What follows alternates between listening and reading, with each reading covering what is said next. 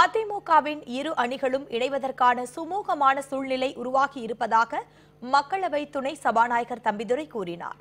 சென்னை விமான நிலையத்தில் செய்தியாளர்களிடம் பேசிய அவர் இணைவது தொடர்பாக இரு அணிகளும் ஒரு நிலைப்பாட்டிற்கு வந்துள்ளதாக கூறினார்.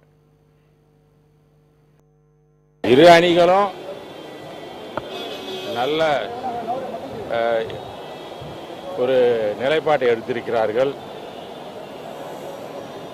இரண்டு சைடும் பா ரெண்டு பக்கம் பார்த்தீங்கன்னா எல்லாமே சுமூகமான சூழ்நிலை ஏற்பட்டு சொல்லியிருக்கிறார்கள். ஆகவே நான் அடிக்கடி சொன்னது போல அனைத்து இந்திய அண்ணா திராவிட முன்னேற்ற கழகங்களுடைய தொண்டர்களுடைய எண்ணம் விரைவில் ஈடேறும்.